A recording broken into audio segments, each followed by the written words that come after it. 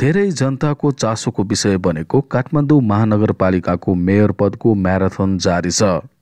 काठमाडौँको स्थानीय चुनाव सकियो र मतगन्ने काम धमाधम भइरहेको छ। बालन शाहको जितको लागि बिगुल नेपालभर बजिरहेको देख्न सकिन्छ। प्रारम्भिक मतको आधारमा बालन शाहले अग्रता लिएको छ।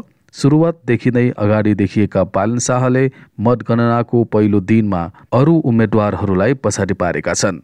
पहिलो दिनमा चार हजार चार सय त्रिपन्न मत गनिएको मध्ये बालन शाहले पन्ध्र सय सतासी भोट पाएर अग्रस्थानमा परेका छन् भने उनलाई पछ्याउँदै एमालेका केशव स्थापितले आठ सय सतासी भोट पाएका छन् र आठ सय बाइस मतसहित तेस्रो स्थानमा कङ्ग्रेसका सृजना सिंह परेका छन्। बालेन शाहको यो सुरुवाती जितको खुसियाली राष्ट्रिय सभागृहको बाहिर देख्न सकिन्थ्यो। विभिन्न नारासहित बालेन शाहका समर्थकहरूले बालेनलाई साथ दिइरहेका थिए। काठमाडौँले के भन्छ? बालन शाहलाई ले भन्छ र सागर बसन्ते किस्ने बालन शाहले हो जित्ने।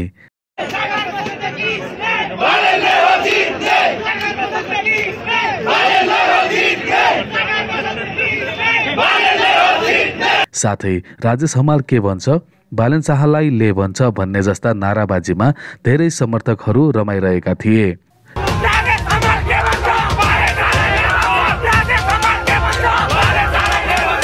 त्यसो त अरू पार्टीका कार्यकर्ताबाट भने नाराबाजी लगभग हुँदै नभएको जस्तो देखिन्थ्यो। बालिन शाहले मेट्रो एफएमको भवनबाट आफ्ना समर्थकहरूको उत्साहलाई अवलोकन गरिरहेको फोटो पनि सामाजिक सञ्जालमा ठाउँ पाउन सफल भएको थियो। सामाजिक सञ्जालमा एक थरी कमेन्ट पनि भाइरल भइरहेको थियो जसमा भनिएको थियो बालेनले जिते नेताहरू नराम्रा रहेछन् भन्ने बुझ्नु पर्यो अरू नेताले जिते जनता नै नराम्रो रहेछन् भन्ने बुझ्नु पर्यो।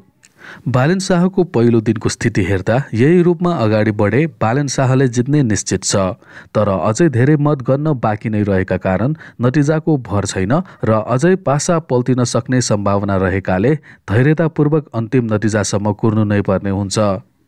भोटिङ काउन्टको लाइभ हेर्न धेरैले कोसिस गरिरहँदा इन्टरनेटमा विभिन्न तरिकाको लाइभले जनतामा भ्रम फैलाइरहेको पनि पहिलो दिनमा देख्न पाइएको थियो।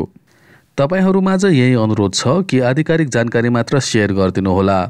आफू पनि भ्रममा नपर्नुहोस् र अरूलाई पनि भ्रमबाट जोगाउनुहोला। तपाईँले मतदान गर्नुभयो त? यदि तपाईँ काठमाडौँको हुनुहुन्छ भने भालेन शाहलाई भोट हाल्नुभयो कि?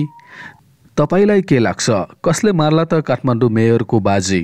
पक्कै पनि आफ्नो प्रतिक्रिया कमेन्टमा राखिदिनुहोला। हस् त यो भिडियोको लागि यति नै। भिडियो राम्रो लागे लाइक सेयर र कमेन्ट गरिदिनुहोला। साथै च्यानलमा नयाँ हुनुहुन्छ भने सब्सक्राइब पनि गरिदिनुहोला। यतिन्जेल हामीलाई साथ दिनुभएकोमा यहाँलाई धन्यवाद छ।